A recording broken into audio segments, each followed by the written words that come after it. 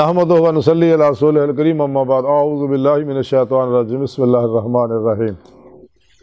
لا الہ الا اللہ محمد الرسول اللہ قررتین بکا یا رسول اللہ صلی اللہ علیہ وآلہ وسلم. الصلاة والسلام علیکہ یا سید یا رسول اللہ وعلا علیکہ و صحابکہ یا سید یا حبیب اللہ قبل سادہ طرح مزید طلب آئی دے اللہ پیتھی قرآن تھرہ پیتے بے محمدی. ਸੱਲੱਲਾਹੁ ਅਲੈਹਿ ਵਸੱਲਮ ਦੇ ਰੂਹਾਨੀ ਇਲਾਜ ਦੇ ਸਿਲਸਿਲੇ ਦੀ ਨਸ਼ਿਸਤ ਵਿੱਚ ਮੇਥੀ ਦਾਣੇ ਦੇ ਕਾਵੇ ਦੇ ਫਵਾਇਦ ਦੱਸਨੇ ਆ।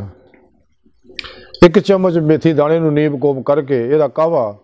ਹਲਕੀ ਆਂਚ ਤੇ ਪਕਾ ਕੇ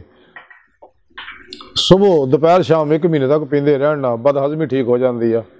ਚੰਦ ਦਿਨਾਂ 'ਚ ਦਸਤ ਠੀਕ ਹੋ ਜਾਂਦੇ, ਖੱਟੀਆਂ ਟਕਾਰਾਂ ਆਉਣੀਆਂ ਬੰਦ ਹੋ ਜਾਂਦੀਆਂ, ਜ਼ਚਗੀ ਦੀ ਕਮਜ਼ੋਰੀ ਦੂਰ ਹੋ ਜਾਂਦੀ ਆ। ਚੰਦ ਦਿਨਾਂ ਦੇ ਵਿੱਚ, ਬੁਖਾਰ ਦੇ ਵਿੱਚ, ਪਿਆਸ ਦੀ ਸ਼ਿੱਦਤ ਜਿਹੜੀ ਆ ਉਹ ਕਮ ਹੋ ਜਾਂਦੀ ਆ ਮਿਹਦਾ ਆਂਤਾਂ ਤੋਂ ਫਾਸਦ ਮਾਦਿਆਂ ਨੂੰ ਇਹ ਕਾਵਾ ਖਾਰਜ ਕਰਦਾ ਹੈ ਔਰ ਮਿਹਦੇ ਨੂੰ ਜੁਮਲਾ ਅਮਰਾਜ਼ ਤੋਂ ਮਹਫੂਜ਼ ਰੱਖਦਾ ਹੈ ਤੇ ਅੱਲਾਹ ਸੋਹਣੇ ਦੀ ਬਾਰਗਾ ਦਿਲ ਦੀ ਗਹਿਰਾਈਆਂ ਦੁਆ ਕਿ ਅੱਲਾਹ ਸੋਹਣਿਆ ਆਪਣੇ ਪਿਆਰੇ ਹਬੀਬ ਸੱਲੱਲਾਹੁ ਸੱਲੱਲਾਹੁ ਅਲੈਹਿ ਵਸੱਲਮ ਦਾ ਸਦਕਾ तमाम बीमारों को शफा कामला अजला ता फरमाई अल्लाह अकबर कबीरा वमा अलैना इल्लल बलागुल मुबीन